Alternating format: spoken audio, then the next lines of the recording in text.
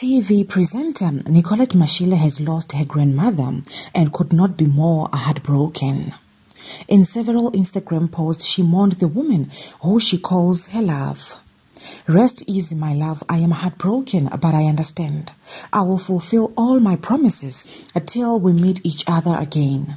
The Daily Thetha host said in a caption of a picture of her and her grandma, Doreen Beniambuyani. My heart was the ultimate storyteller. I was a few years old and left in her care and found a mug full of Jik on the table. Me being so inquisitive downed the whole cup of Jik. She then told a story of how she put me on her bag and ran to the neighborhood doctor.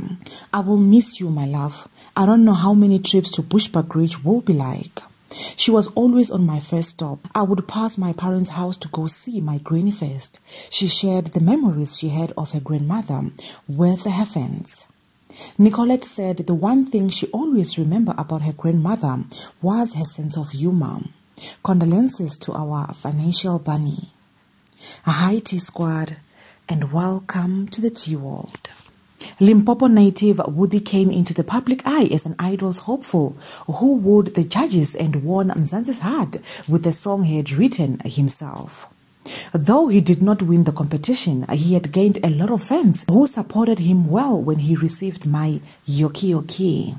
Just a week after releasing it, the song had 101k views on Twitter, a win that the young artist celebrated on Instagram.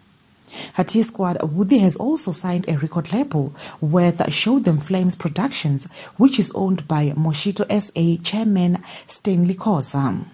In the future, you can expect a collaboration with international DJ Black Coffee and Nigerian superstar Davido, who showed interest in working with him. And it seems it is not only his future that is bright, but his present life as well. At his squad, the singer showed off the car in a post on Instagram, which he tagged Mercedes Benz as a caption. Congratulations to them, keep shining. At his squad, last story on this video. I have bad news for fans of actor Loyiso McDonald, who portrays Kagiso Khoza on the soapie The Queen. Loyiso is leaving the soapie and the character that he has played for the past five years. Entertainment commentator Phil Mphela announced his departure from the telenovela cast on Twitter.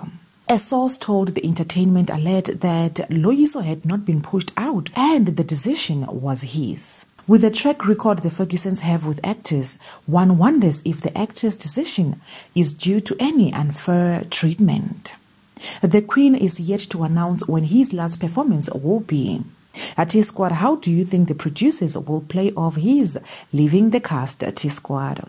Will they replace him with another actor or will they kill him off? It also begs the question what will happen to Goodness Mabuza's character, which is played by Zenande Mfenyana, who's Kagiso's baby mama and just got back to the Queen after her maternity leave. Hati Squad, the actor has only had two prominent roles, this one and as Ntando Sibeko in Isidingo. We hope this is not the end of him and we will be seeing him again on our screens. That's it for now, T Squad. Do leave your comments down below. I love you.